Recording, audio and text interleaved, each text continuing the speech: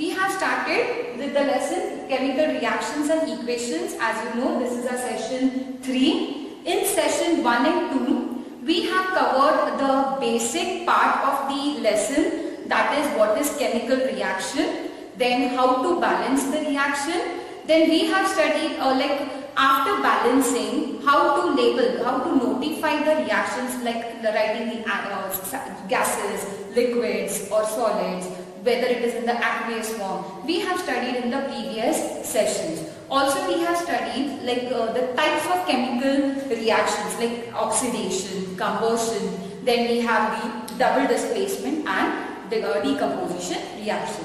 Let's proceed. If the lesson is very short one, now here in the next part of the lesson, we have the other type of reaction.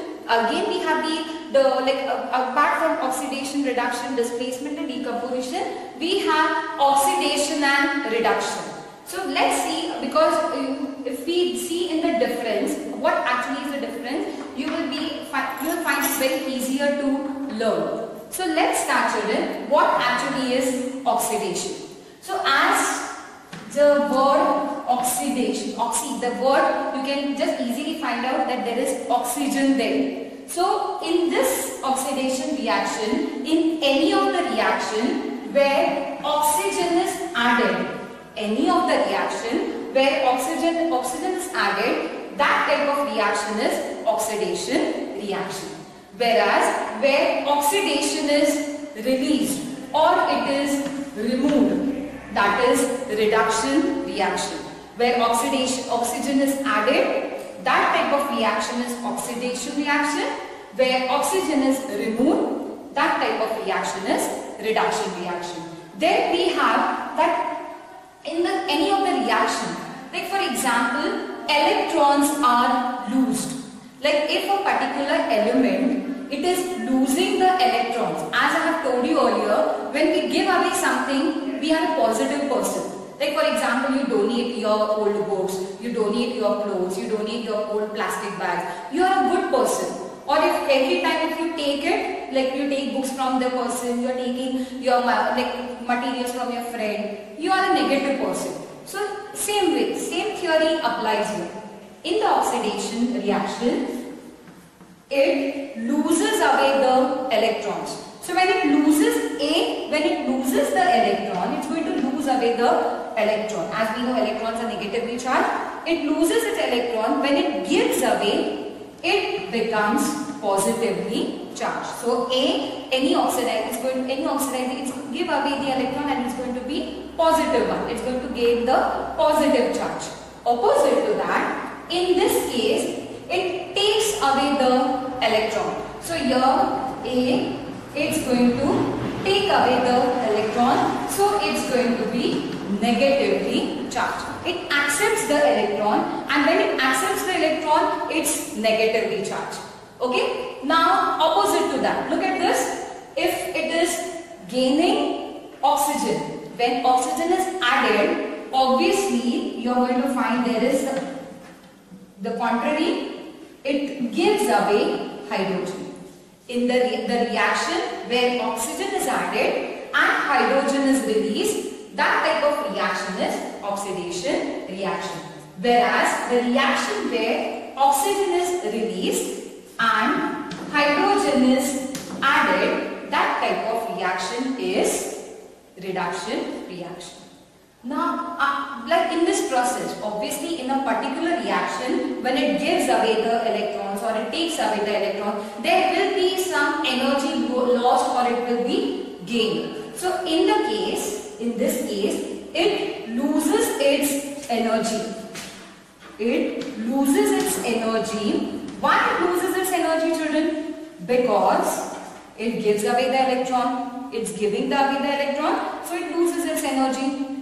In the reduction reaction, it gains energy.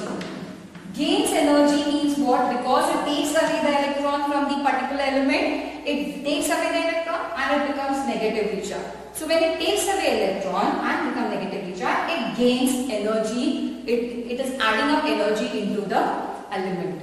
So did you get the difference? What is the difference? It's very important question for your CBSE exam children. What is oxidation and reduction reaction.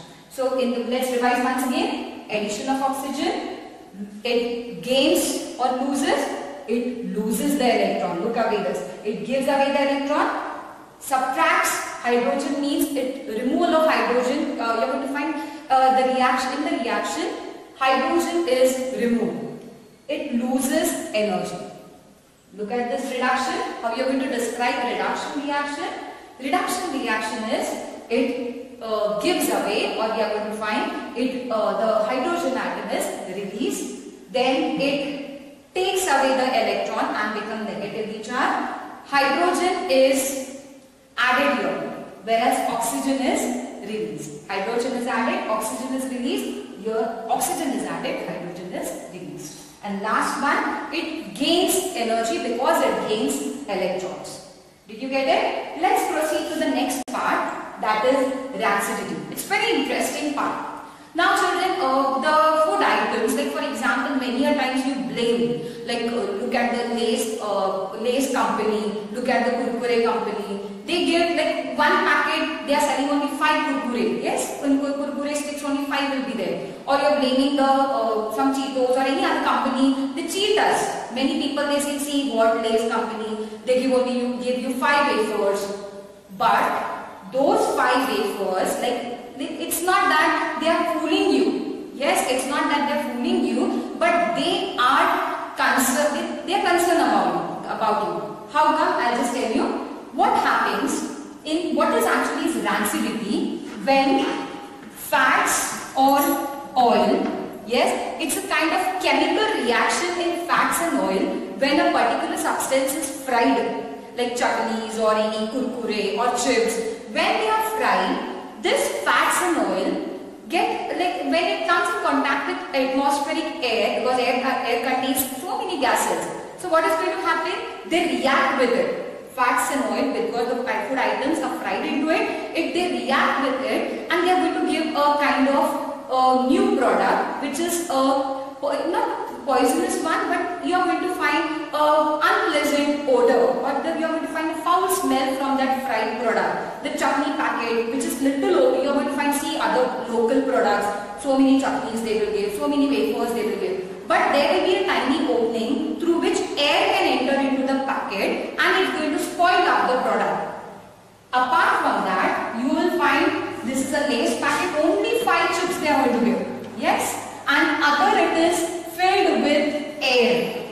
You are going to say, see, it's the air only. But what type of air, what type of gas they fill up, they make the environment nitro, they, they make an environment nitrogen rich. Because nitrogen, it's not going to react, it's an inert one, it's an inert gas, so it's not going to react with those fried items. So what is going to happen? Those chips, those five chips which they are going to give, it's going to be safe it's going to be uh, edible for longer period of time. So now don't blame them that they are adding lot of gas into it but this gas yes is added to protect or to preserve the food item for longer period of time. So they create the inert atmosphere into the Lay's packet. Did you get it children? So the local products when you eat that chutneys, butter chutney and all, you'll find there is lot of chutneys, 30 rupees you will get 20 chutneys or 15, I don't know what how many. But you will get many chutneys there. But what is going to happen? Literally they sealed up the packet. So tiny, through the tiny openings, you will find air can enter into it. So once the air enter into it, it spoils up the packet. Yet it spoils up the product, food product. So indirectly it's going to give the unpleasant odor. Due to the reaction of fats and oil, it gives the unpleasant odor. Last one we have that is corrosion. Here it is, the, you are going to find the chemical reaction is happening between air and the fats and oil. Yes? Oppositely, corrosion is not a new term, we have learned it. If I have a pipe or you look at just in your house you look at the window uh, bars iron bars. After few days you are going to find a brown color layer on it. Yes a brown color layer on it. What is going to happen? Every time due to rainfall or due to the sunlight or due to the air what is going to happen? The metal, now here the metal which is used that is iron, iron rods are used for making the window uh, panes or any bars or any, yes, the grills, the net. So this bar or this iron bar will be eaten up. The metal literally is eaten up. What actually the material actually is happening here? This metal is corroded. This metal is corroded due to the sunlight, rainfall and air and the new product which is formed that is iron oxide. The new product which is formed that is iron oxide. So what we can do? Let's, this is one example, I take the other one. Let's take silver if I have an anklet, the anklet which the jewelry which we anklet is the uh, the chain which we wear in our uh, in our ankles. Then we have the bracelets, silver bracelets. After few days, what happens, children? It turns blackish in color. You're going to find there will be a dark color on it. Here also same thing happens.